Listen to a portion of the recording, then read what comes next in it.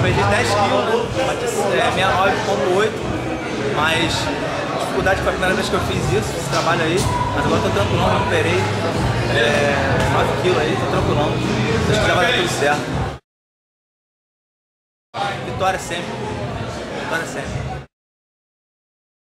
Pô, botar pra baixo é e meter porra.